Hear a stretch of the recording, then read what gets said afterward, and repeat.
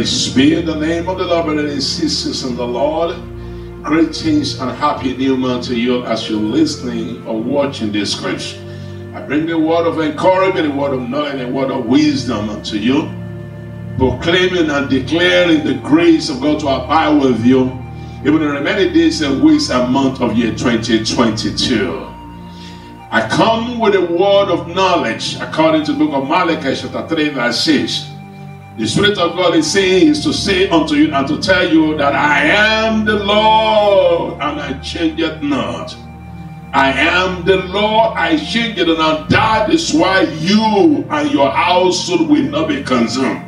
The God that I've been with since the beginning of year 2022 is declaring unto you that as he has been with you in protecting, watching over you, preserving you, sustaining you, leading and guiding you and guiding you. Since the beginning of the year, he said, I should tell you that he will guide you through the remaining days and weeks and months of year 2022 in the name of Jesus. Any or perhaps all of you who are believing that perhaps all your dreams for the year is gone. All your aspiration in the year is drafted and no reason for your existence anymore I come to say to you according to the word of God, I am the Lord that liveth. He is the one who made, who created, who formed you, who have been with you. He said he will be with you to the end of the year. Concerning those dreams, God said he will strengthen you. He will bring your dreams to fruition. He said you will not lose hope in such a time that because he is the hope of the hopeless.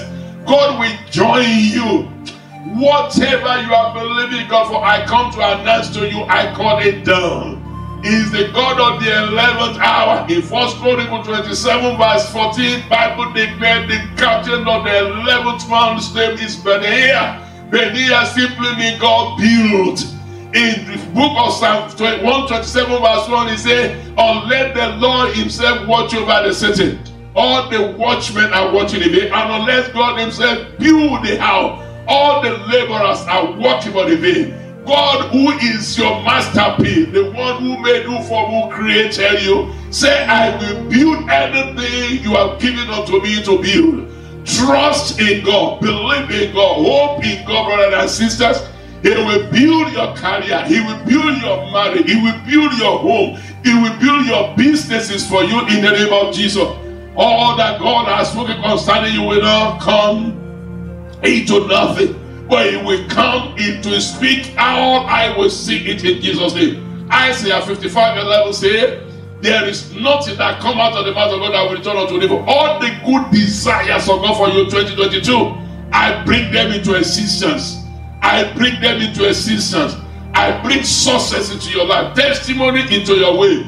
In this week as you go, I command doors of opportunity to be open unto you your womb will carry forth.